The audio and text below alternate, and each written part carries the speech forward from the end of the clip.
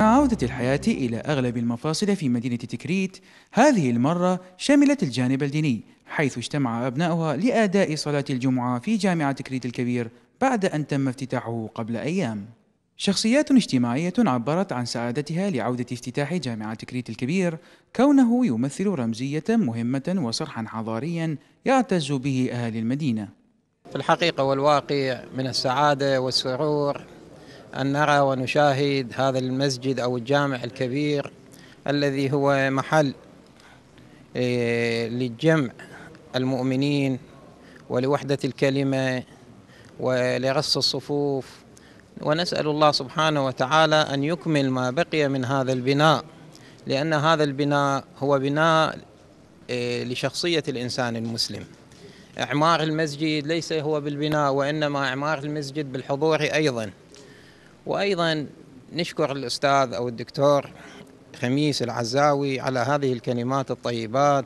بالتأكيد عودة الصلاة إلى هذا المسجد المهم وسط مدينة تكريت هو استمرار لجهد حكومي منتظم في إعادة الحياة إلى المؤسسات الحكومية. اليوم دائرة الوقف السني في صلاح الدين آه، مدعومة من ديوان الوقف السني آه، حقيقة آه، ساهمت بجهد كبير في إعادة افتتاح وإعادة الحياة إلى هذا الصرح المهم داخل تكريت. من المهم أيضا أن نتحدث في أهمية أن تكون للمنابر الدينية حقيقة لغة آه، تختلف عما كانت سابقا. لغة تدعو إلى التسامح آه، لغة تدعو إلى وحدة الصف لغة إلى آه، تدعو إلى نبذ التعصب والتشنج وبالتالي منع لأي ظاهرة ممكن أن تنبت وتكبر فيها ظاهرة التطرف والإرهاب. الدكتور عمر الشنداح قائم مقام قضاء تكريت.